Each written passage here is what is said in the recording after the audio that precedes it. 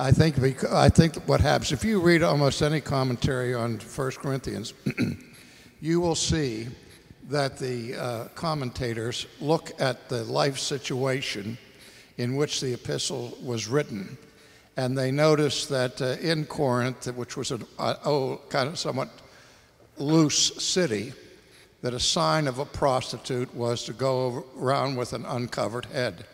And so the commentators say that in all probability, the reason why the apostle uh, exhorts women to cover their heads during church and all of that is because they don't want to have that cultural scandal of appearing like prostitutes.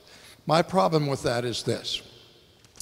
If the apostle gives an injunction and doesn't give a reason for it, I think it's, it's uh, certainly uh, fair game to speculate to some degree, looking at the contemporary culture and say, well, maybe the reason why the apostle gives this injunction is because of this problem in the contemporary culture. However, as you've already suggested in your question, Paul gives a reason.